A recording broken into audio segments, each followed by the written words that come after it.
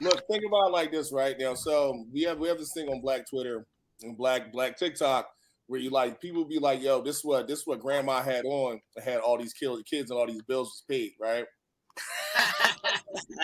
and it's like it's like this muumuu and like yes, I saw it. You all know what it is. When you got the yep. melon, it's black Twitter or black. It's like, yo, your bills was paid. And like you ain't had like lingerie wasn't really like that thing or whatever like that. You just had some nah. shit. It's like it's like some quick slip off, slip on shit. Like yo, yep. You go like suck this dick and go feed these kids real fast. so like I like I, have only seen I feel like I've only seen my grandmother in a muumuu my entire fucking life. And then like I think about this shit. And then Facebook kicked around. I fucked around and like when I got to DC, I found out that one of my my new aunts lived in Silver Spring. Right.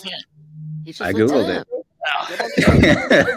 but then like over there. Bang that but then I also have like this like trace something.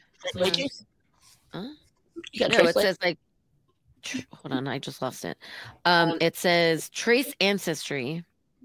So they don't they broadly Central and South Asian, and then th- this European. I mean Egyptian.